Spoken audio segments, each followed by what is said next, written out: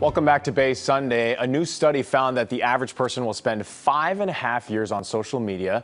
That's more time than we spend eating. Here in the studio to talk about the difference between a harmless habit and addiction is author, educator, and school consultant Ana Homayoun. Welcome to Bay Sunday, Ana. Thank you for having me. So five, five plus years on social media. That's incredible. It is incredible, and we often don't realize how much time we're spending online. Why is that? Because there's this incremental creep of time spent online. Like you'll walk into a coffee shop, you'll pull out your phone and you'll spend time online. Or you'll go on YouTube to watch like three minutes of videos and then you'll find out 45 minutes later, you're still watching videos. Right. So that's the things that we're seeing a lot of for most, most people. So where's the line between addiction and just a healthy dose of social media slash getting your news online and checking your phone all the time? Right.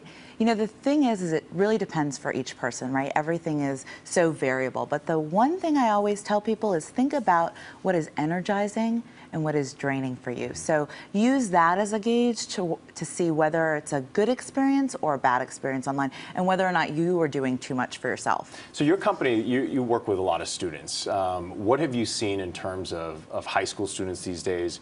Uh, middle school students in terms of their use with their use uh, they're using social media apps like the ones you mentioned, including Facebook, Twitter, all that stuff? Sure. The big thing that I see is so I started my company in 2001. And when I did, there was no Facebook, Twitter, Snapchat, Instagram. And about a decade ago, I noticed that more and more students were finding that their biggest distractions were no longer food, their sibling, and their dog. You know, one student last week told me that the entire internet was his main source of distraction. And the number one thing I see more and more is that students are now having to use their computer, um, and it's their main thing for getting their work done, but also their biggest distraction from getting that work done. Okay. What do you mean by develop awareness?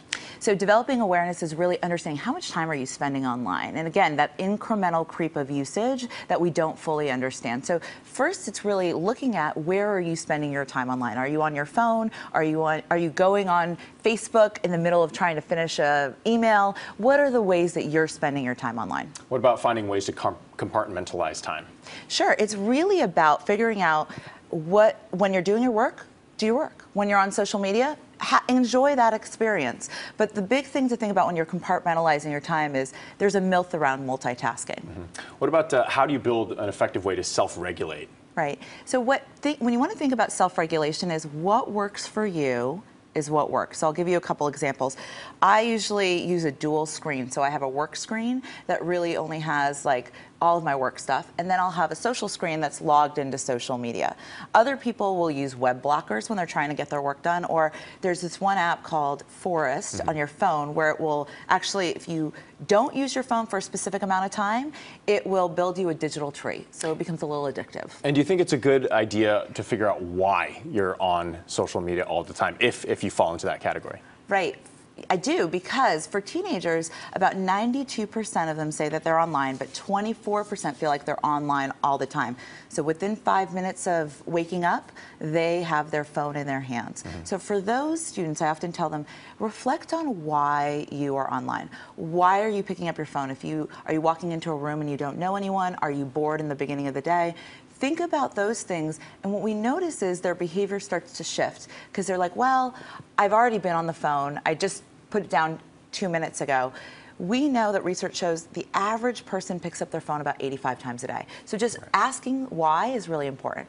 Ana, thank you so much for joining us here this morning thank and sharing you. your tips. Thank you so Appreciate much. Appreciate it. Check out Ana's website. It's anahomayoun.com, and you can follow her on Facebook and Twitter. That is it for this week. Be sure to visit our website, cbssf.com slash Bay Sunday, and of course our Facebook page where you can pitch us your stories and give it a like while you're there. Thanks for watching Bay Sunday, and we'll see you next week. Enjoy your day.